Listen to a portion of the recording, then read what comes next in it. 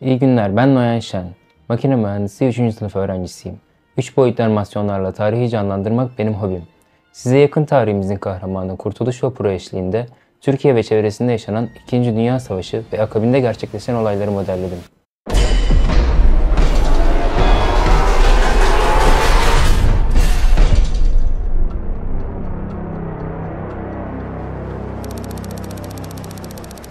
O yıllarda Yunanistan için ölümle yaşam arasındaki ince çizgi Kurtuluş Vapuru'nun dümen suyunda saklı.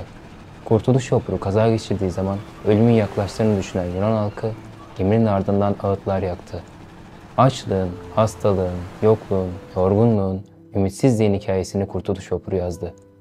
80 yıl öncesine ait yeterince anlatılmamış bu hikayede pek çok sürprizler bulacaksınız. Hazırsanız başlayalım. Avrupa adım adım 2. Dünya Savaşı'na yaklaşırken Almanya'nın Avusturya'yı ilhak, Çekoslovakya'yı işgal etmesi zaten var olan gerginlikleri daha da arttırır. Almanya'nın saldırgan politikasına İngiltere ve Fransa'nın yeterli sertlikte cevap vermemesi Almanları Polonya'nın da işgaline cesaretlendirir. Alman ordusunun Polonya'ya girmesi bardağı taşıran son damla olur. Bu durumu savaş sebebi olarak gören İngiltere ve Fransa'nın savaş ilanı ile 2. Dünya Savaşı patlak verir. Ekonomisi zaten sıkıntılı Yunanistan, savaşın dışında kalmaya niyetlidir. Fakat Almanya'nın müttefiki İtalya bu kaotik ortamdan yararlanarak Balkanlarda hakimiyet kurmak ister. Mussolini, işgali altında bulunan Arnavutluk topraklarında hazır bekleyen İtalyan ordusuna zayıf gördüğü Yunanistan'ı işgal emri verir. Arnavutluk sınırında muhteşem direniş gösteren Yunanistan, bozguna uğrattığı İtalyanlara büyük kayıplar verdirerek geri püskürtür. Ağır yenilgiye uğrayan İtalyanlar, Arnavutluk topraklarının da bir kısmını Yunanlılara terk ederek geri çekilir. Bu süreçte Yugoslavya'yı da ele geçiren Alman ordusu, müttefiki İtalya'nın başarısız işgal harekatına destek olarak Bulgaristan üzerinden Yunanistan'a saldırır. İkinci Dünya Savaşı başladığından bu yana direniş gösterebilen tek millet olan Yunanlılar, Alman ordusunun Yıldırım Harekatı ve ağır bombardımanı altında ezilir. Yunanistan 20 gün içerisinde Almanlar tarafından teslim alınır. Ülke işgal güçlerince üçe bölünür. Bulgaristan kuzeydeki verimli tarım alanlarını alır. Atina, Selanik, Türkiye'ye sınır bölgeler ve Ege adaları Almanlar, ülkenin geri kalanı ise İtalyanlar tarafından ele geçirilir. Almanlar işgal marka adını verdikleri para birimini basarak her birliği istediği miktarda parayı kamyonlarla, trenlerle sevk eder. Hiçbir alım gücü olmayan bu değersiz kağıt parçalarıyla Yunan halkının elindeki bütün yiyeceğe el konur. İşgal güçleri Yunanistan'daki her evi arama bahanesiyle yağmalar. Halkın kendilerine teslim etmesi gereken malzemeler listesinde bıçaktan bakır mutfak eşyasına kadar pek çok şey vardır. Evinde ele geçirilen bakır bir sahan yüzünden kurşuna dizilen bir Yunan vatandaşının ölümünü Almanlar Atina radyosundan duyurur. İşgal kuvvetleri Yunanistan'ın elektrik, tersane, tekstil ve petrol endüstrisine de el koyarak kendi ordularını desteklemek amacıyla kullanmaya başlar. İşgal kuvvetlerinin giriştikleri gasp ve yağmalar kara borsayı ortaya çıkarırken Yunan para birimi hızla değer kaybeder. Bir somun ekmeğin savaştan önce 10 drahmi olan fiyatı 34 milyon drahmiye yükselir. Halk için hayati ihtiyaç maddeleri artık ulaşılmazdır.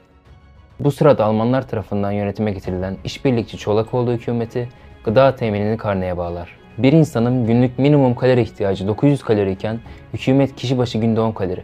Evet günde sadece 10 kalori tahsis edilen işe yaramaz bir programı uygulamaya başlar. Başlangıçta akaryakıt yokluğuyla başlayan adalar ve anakar arasındaki ulaşım sıkıntısı, daha sonra Almanların getirdiği ulaşım yasağı ve bütün deniz taşıtlarının batırılması ile imkansız hale gelir. Balıkçılığın da yasaklanması açlığı katlar. At, inek, koyun, keçi, domuz ve tavuğa kadar bütün hayvanlara Alman ordusu el koyar. Yunan halkı için köpek, kedi ve hatta fare yemekten başka hiçbir seçenek yoktur. Açlıktan ölümler artık sokaklarda rastlanabilecek kadar sıradan hale gelir. Hastaneler, yetimhaneler, evler ve sokaklardan her gün onlarca ölü toplanır. Kamyonlarla taşınan bu cesetler toplu mezarlara defnedilir. Aileler cenazelerini gece gizlice gömer ve ölenin yakınları karnesini kullanabilmek için devlete bildirmez. Mezar soygunculuğu artık bir meslek haline gelir. Savaştan önce ölenlerin mezarları açılıp giyecekler kullanılırken cesette bulunan kolye, yüzük veya altın diş gibi objeler sökülerek İtalyan askerleriyle yiyecek takası yapılır. Abluka altındaki Yunan halkına savaşta taraf olmayan Türkiye dışında yardım edebilecek hiçbir ülke yoktur. İkinci Dünya Savaşı'nda resmi politikasının tarafsızlık olmasına rağmen konu Yunanistan olduğunda Türk hükümeti tavrını hep Yunanistan'dan yana kullanır. İşgali uğrayan Yunanistan'a elinden geldiğince resmi yoldan gıda ve sağlık malzemesi, illegal olarak da silah yardımında bulunur. Ancak o günlerde Türkiye'de de kıtlık yaşanır. Yiyecek stokları olası bir savaş ihtimaline karşı devlet tarafından güvenceye alınır. Tarımda çalışacak nüfusun büyük bölümü silah altında olduğu için tarımsal üretim %70 geriler ve ülkede seferberlik ilan edilir. Buna rağmen Türkiye, Cenevre'de bir yardım kuruluşunun topladığı paraları Yunanistan halkına ulaştırdı. Ardından sert geçen kış için Yunanistan'a 15 bin ton kömür yardımında bulundu. İtalya ile savaşan Yunan birliklerine 15 ton şeker, 100 bin çift çorap, 1,5 ton kolay, 7 bin tüfek bombası sevk etti. Karayoluyla 6 adet ambulans gönderildi. Selanik Kızılaçı'na 14 bin adet tetanos aşısı, 1000 şişe kangren serumu, 10 ton gazlı bez, 1 ton pamuk ve 3 bin adet battaniye teslim edildi. Son olarak Batı Trakya'ya yapılan 75 tonluk tuz yardımı dışında Yunanistan'a başka hiçbir yardım ulaştırılamadı. Türkiye yaptığı diplomatik girişimlerle Almanya, İtalya ve İngiltere'yi 50 bin tonluk yardım paketi konusunda ikna eder. Önceki organizasyonları da başarıyla gerçekleştiren Kızılay'a verilir bu görev. Evet Kızılay. Maalesef günümüzde yüzümüzü kızartan bu kurum, tarihinde komşu ülkedeki açlığa bile çare olabilecek kadar prestijli bir geçmişe sahiptir. Yardım sevkiyatı için 60 yaşındaki Kurtuluş Vapuru seçilir. 900 beygir gücündeki 2720 ton kapasiteli bu yaşlı ve güçsüz vapur, ideal çözüm olmasa da daha iyisini bulmak o günler için imkansızdır. Kurtuluş aslında önemsiz, sıradan bir gemidir. Tarihinde aldığı bu yardım görevi olmasa, yitip giden emsalleri gibi bugüne ulaşacak bir fotoğrafı bile olmayacaktı. Telsizde olmayan kurtuluş vapuruna başka bir gemiden sökülen telsiz bu görev için idareten takıldıysa da aslında verimli bir şekilde çalıştırılamadı. İstanbul-Pir arasındaki 320 millik mesafenin maksimum 8 mil hız yapabileceği varsayılan vapur ile 2 günde alınacağı hesabı hiçbir zaman gerçekleşmedi. İlk sefer için hazırlıklar yapılıp vapurun izleyeceği rota Türk yetkililere bildirilir. Kurtuluş'un izleyeceği güzergah Alman, İtalyan, İngiliz yetkililerinin vereceği rota müsaadesiyle belirlenir. Bu müsaade sadece gündüzleri kapsar. Gece için hiçbir güvence verilmez. Ancak çoğu zaman üç izinden birinin verilmemesi sonucu vapurun hareket tarihi ve saatinin değişmesi söz konusu olur. Yapılacak sefer çok risklidir. Rota dışına çıkıldığında mayına çarpmak ya da savaşa taraf ülkelerden birisi tarafından batırılmak, geceleri ise saldırıya uğramak çok olasıdır. Kurtuluş Vapuru ambarında fasulye, nohut, mercimek, şeker, pirinç unu, yumurta, soğan, patates, lakerda ve benzeri yiyeceklerden oluşan yüküyle Ege'ye açılır. Alman hücum botları tarafından piri açıklarında önü kesilir. Gemi baştan sona çok sıkı bir aramadan tüm evrakları da kontrolden geçirilir. Türk tarafı zaten beklediği bu muameleye hazırlıklıdır.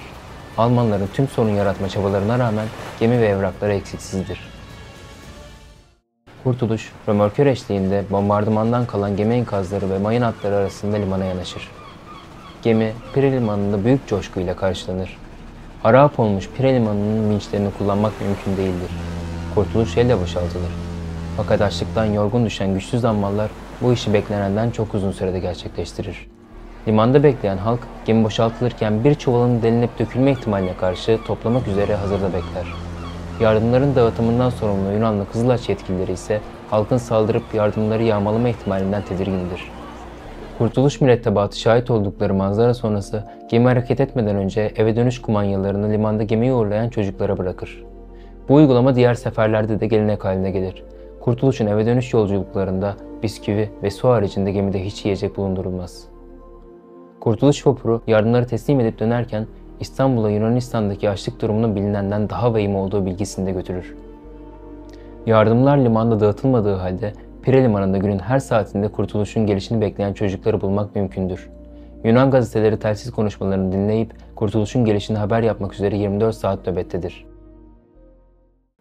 Kurtuluş vapuru ikinci kez yola çıkar. Her bir sevkiyatta 1,5 milyon adet yumurta gönderilir. Gemiye yüklenen yumurtaları koyacak sandık konusu sıkıntı olunca önceki sevkiyatın boş sandıkları istenir. Fakat veremeyiz, biz onları tabut olarak kullandık cevabı alınır. Bunun üzerine sonraki seferlerde kullanılmak üzere İstanbul marangozlarına tabut ölçülerinde bol miktarda ahşap yumurta sandığı yaptırılır. İkinci seferde Türk yardımlarına ek olarak İngiliz Kızılaçı'nın Yunanistan'daki Almanların elinde esir tutulan İngiliz askerlerine gönderdiği 51 tonluk hediye paketi, Atina elçiliğine gönderilen yiyecek paketleri, Türk halkından gelen yardımlar ve Yunanistan'da yakınları bulunanların gönderdikleri paketler ve mektuplar da yer alır.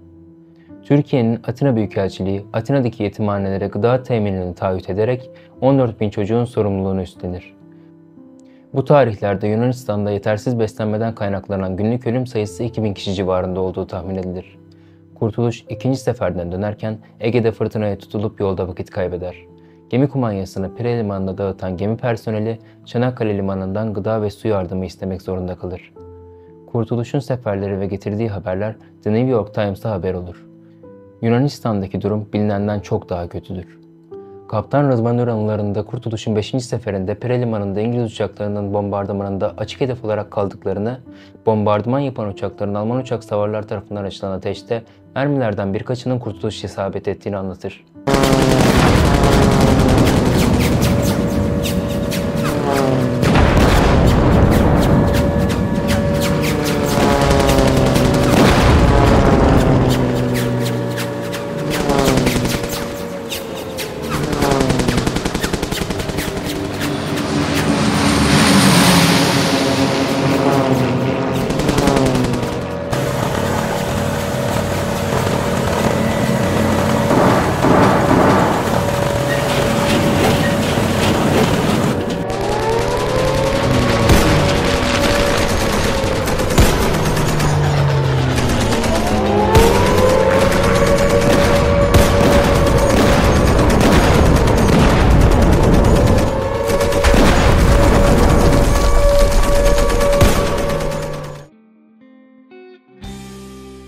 Kurtuluş bacasındaki mermi delikleriyle kurtulurken Almanlar 250 ölü, 130'u aşkın yaralı verir. Kurtuluş Vapuru çevresinde hikayesini anlatıp modellemesini yaptığım 3 bölümlük belgesel serimin ilk bölümü ilginizi çektiyse, Kurtuluş'un son seferini ve devamındaki olayları anlatacağım bir sonraki videoma beklerim. Beğendiyseniz beğenme tuşuna basmayı, diğer videolarımı kaçırmamak için abone olmayı unutmayın. İyi günler.